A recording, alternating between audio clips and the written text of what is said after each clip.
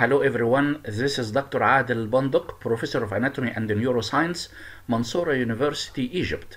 Uh, today I will talk about the basic anatomy of the abdominal aorta and inferior vena cava. Start by the abdominal aorta. What should you know about the abdominal aorta? You, you should know three facts. The origin, termination, and the branches. Regarding the origin, it is the continuation of the thoracic aorta opposite T12 behind the median arcuate ligament of the diaphragm. Again, continuation of the thoracic aorta opposite T12 behind the median arcuate ligament. Then termination, it terminates by dividing into two common iliac arteries opposite L4 in the intercristal plane. Regarding the branches, I will organize the branches of the abdominal aorta into three in three different ways. The first one, the first organization, single branches and paired branches. Single branches are midline branches. The first one is the celiac artery opposite the upper border of L1. Second one is the superior mesenteric artery opposite the lower border of L1. And then inferior mesenteric artery opposite the third lumbar and then median sacral artery opposite L4. So the single branches from above downward, celiac artery opposite upper border of L1, superior mesenteric artery opposite lower border of L1, inferior mesenteric artery opposite third lumbar L3 and the median sacral artery opposite L4. Then paired branches right and left. We start by these two arteries, phrenic arteries, inferior phrenic arteries. The superior arise in the thorax. Second one, middle suprarenal artery, of course arteries right and left, okay. Uh, the superior phrenic arises opposite the upper border of L1. The middle suprarenal arises opposite the lower border of L1. Then renal arteries opposite L2, gonadal arteries opposite L2, and then lumbar arteries, four lumbar arteries. Actually, we have five lumbar arteries. The upper four lumbar arteries arise from the abdominal aorta. The fifth lumbar artery arises from the median sacral artery. This is L5, this one. Okay? And finally, the two terminal branches, common iliac arteries. So these are the branches of the abdominal aorta according to single and paired. The second uh, way of organization, okay, again, this is the origin, this is the termination, origin behind the median arcuate ligament opposite T12, termination by dividing into two common iliac arteries opposite L4. Okay, branches, I will say ventral branches from the anterior surface, lateral branches from the lateral surface, and the dorsal branches from the back. So, ventral branches, dorsal branches, and the lateral branches.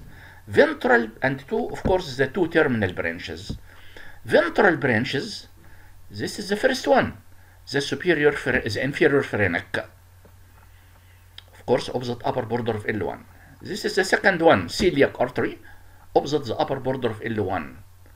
This is the third one, superior mesenteric artery, opposite lower border of L1.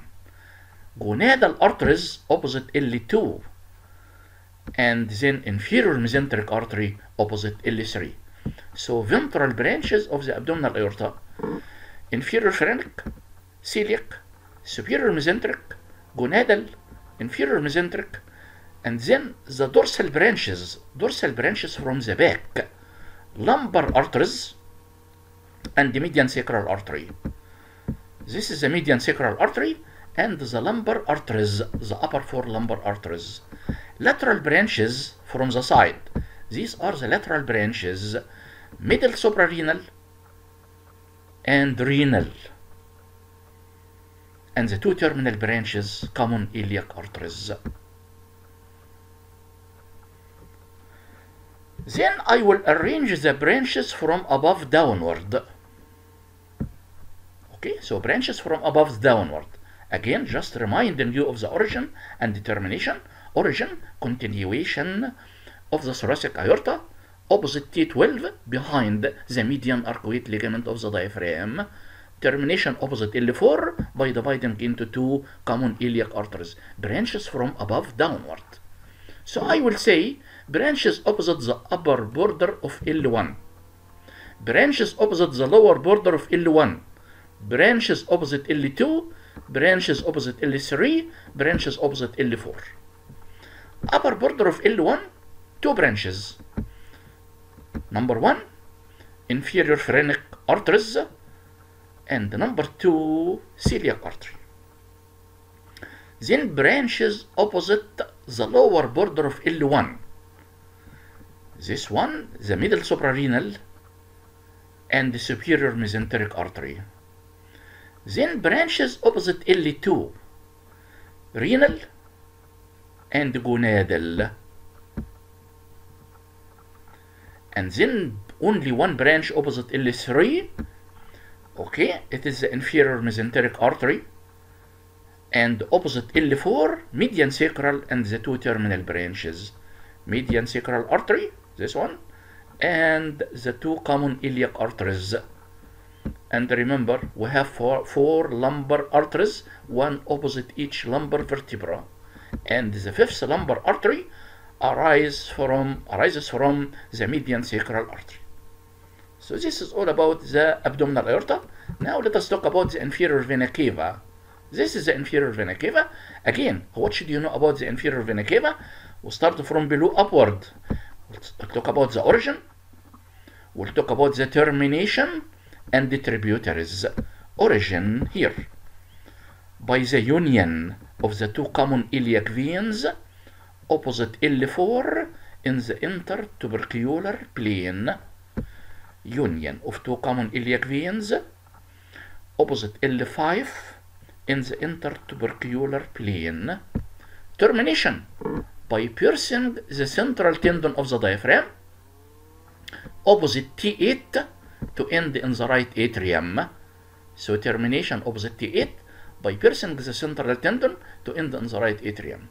Tributaries from below upward. This is the first tributary, okay? The two common iliac veins.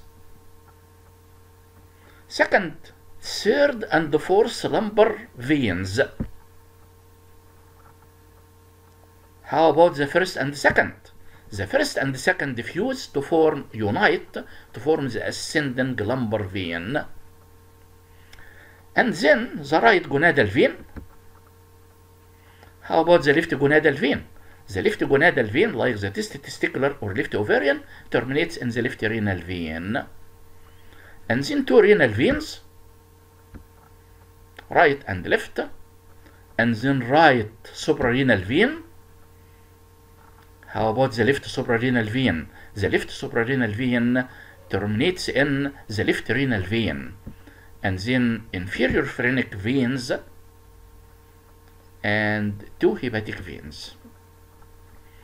So tributaries from below upward, two common iliac veins, third and fourth lumbar veins, right testicular vein, two renal veins, right suprarenal vein, inferior phrenic veins, and hepatic veins. Remember, the left testicular and the left suprarenal veins terminate in the left renal vein. So the left renal vein receives two veins, left testicular or left ovarian and left suprarenal vein.